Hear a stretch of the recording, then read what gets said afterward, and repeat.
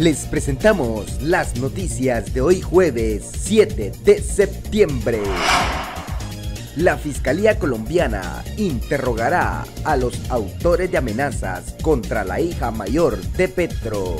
La Fiscalía colombiana informó que ya identificó a los supuestos autores de los mensajes amenazantes de muerte que recibió Andrea Petro Herrán, la hija mayor del presidente colombiano Gustavo Petro, y que los citará al interrogatorio. Muere la cantante española María Jiménez a los 73 años.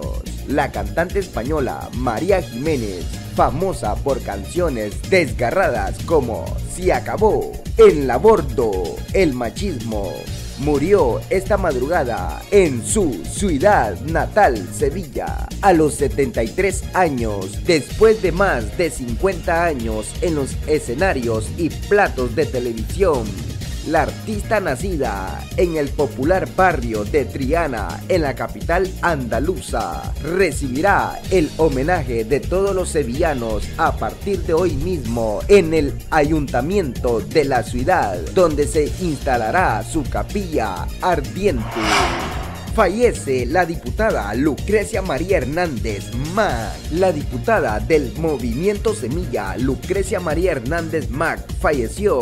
Lo informó la referida agrupación política en sus redes sociales.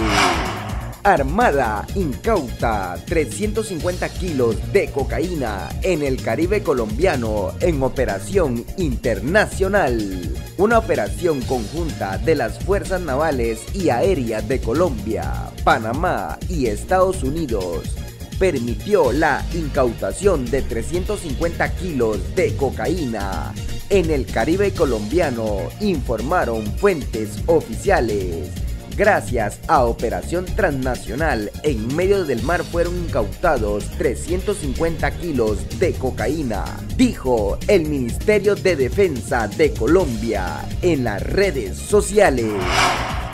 Un sismo de magnitud de 6.2 remece la zona centro y norte de Chile. Un sismo de magnitud 6.2 en la escala de Richter sacudió la zona de centro y norte chileno sin que por el momento se tenga constancia de víctimas ni daños materiales graves, informó el Centro Sismológico Nacional de la Universidad de Chile.